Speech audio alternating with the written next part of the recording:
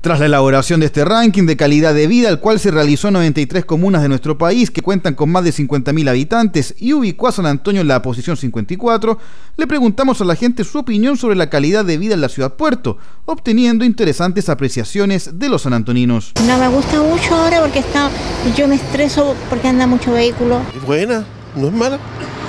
Eh, hay al trabajo. Así que no, yo encuentro que está bien. De regular a buena, creo yo, a mi parecer. Creo que igual San Antonio tiene privilegio en cuanto a, no sé, pues, el aire, eh, locomoción en ciertos sectores, en educación igual hay hartos colegios. La vivienda es económico. Y no, el estilo de vida en general es muy bueno. Ranking que toma como factores a evaluar la vivienda, el entorno, la salud, el medio ambiente, la conectividad, la movilidad, entre otros ítems listado que es encabezado por Las Condes, seguido de Vitacura, Providencia, Punta Arenas, Lobarnechea, Castro y Valdivia. Por contrapartida, las comunas peor evaluadas fueron Lo Espejo, La Pintana, Pedro Aguirre Cerda, Cerro Navia y El Bosque. Además, le consultamos a los sanantoninos si le dieran a elegir una ciudad para vivir, ¿cuál sería?